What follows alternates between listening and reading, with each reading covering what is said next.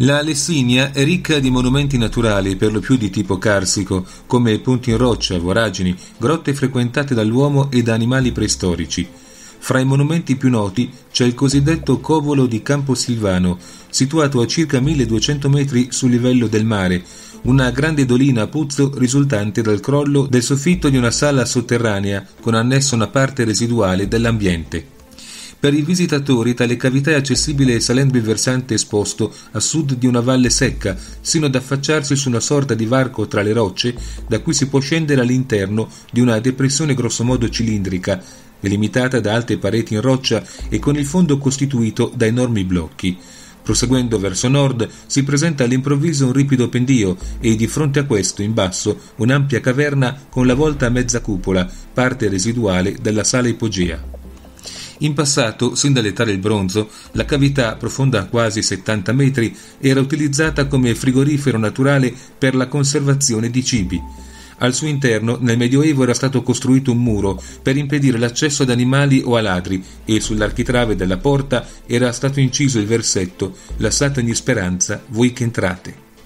Purtroppo tale architrave è andata perduta, ma Attilio Benetti, 1923-2013, un'autentica memoria vivente che abitava nella vicina contrada Covolo, diceva di ricordarla perfettamente. Come suggeriscono anche le fonti scritte, tra gli abitanti delle contrade vicine veniva tramandata oralmente la tradizione che Dante avesse visitato il Covolo e che si fosse ispirato a questa voragine nel formulare il suo modello dell'inferno. Alcuni di questi abitanti legavano a tale tradizione un'autentica passione per la Divina Commedia che sapevano recitare a memoria.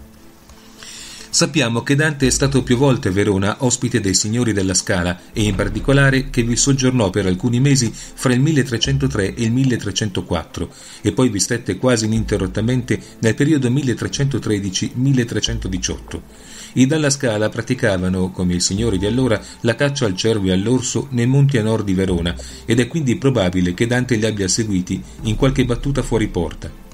Dante, nell'incipit del suo viaggio verso l'inferno, dice di essersi ritrovato in una selva oscura che era popolata di animali selvatici, tra cui una lonza, lince e una lupa, il covolo è situato all'interno della grande foresta di faggi che i nuovi coloni cimbri, giunti da pochi decenni, avevano iniziato a disboscare, tanto da creare un'ampia radura nel bosco, come dice il nome latino del luogo, Campus Silvanus.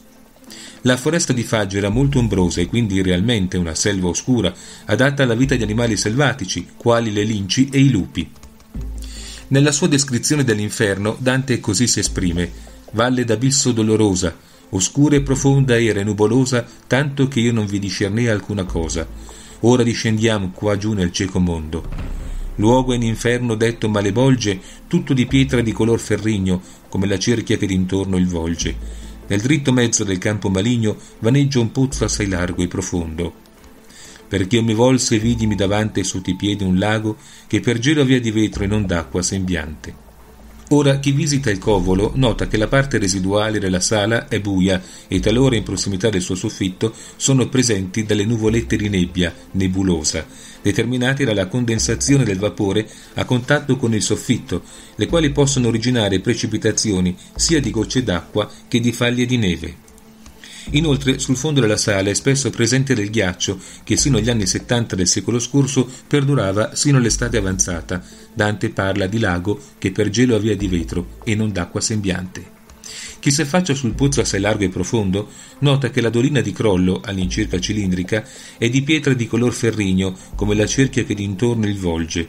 Infatti queste pareti sono nel calcare detto marmo rosso di Verona, geologicamente noto come rosso ammonitico veronese, caratterizzato da un colore rosso ruggine.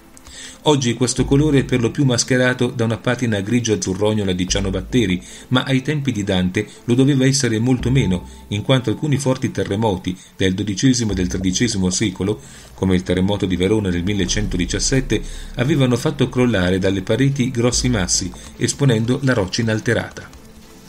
Nel 2008 il regista Alessandro Anderlone ha deciso di organizzare la recita completa della Divina Commedia in alcune località del comune di Velo e precisamente l'Inferno nel covolo di Camposilvano, il Purgatorio sul Monte Purga di Velo e il Paradiso nella Valle delle Sfingi. Il primo canto dell'Inferno è stato recitato a memoria dall'85enne Attilio Benetti e l'ultimo del Paradiso dal vescovo di Verona, Monsignor Giuseppe Zenti.